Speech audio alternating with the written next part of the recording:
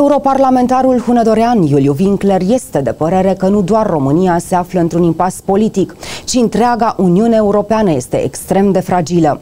Pe lângă toate crizele apărute în ultimii trei ani, precum cea energetică, coronavirus și altele, acum el vorbește despre o criză a nivelului de trai.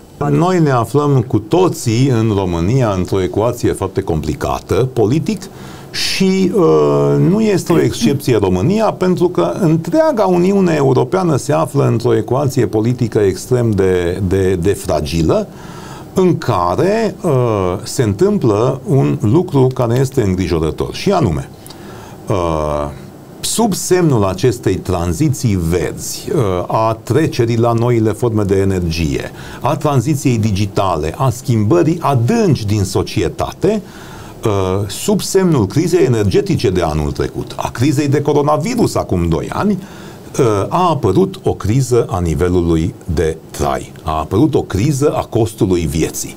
Criza costului vieții înseamnă că pur și simplu factura ta de curent, factura ta de energie, costul benzinei pentru tine și familia ta, costul alimentelor pentru tine și familia ta, efectele inflației uh, fac ca nivelul de trai a familiei tale să scadă.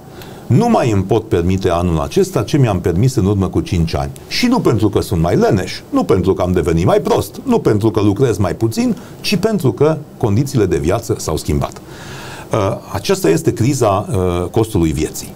Și această criză îi face pe oameni anxioși, îi face nemulțumiți și oamenii atunci doresc să pedepsească pe cineva. Și asta nu este, asta este ceea ce citesc eu și ceea ce văd, dar ceea ce văd și aici la Deva, văd ce și în Hunedoara, văd și faptic. Exact. Oamenii vor să pedepsească pe cineva. Și atunci uh, uh, ei se vor duce la vot supărați.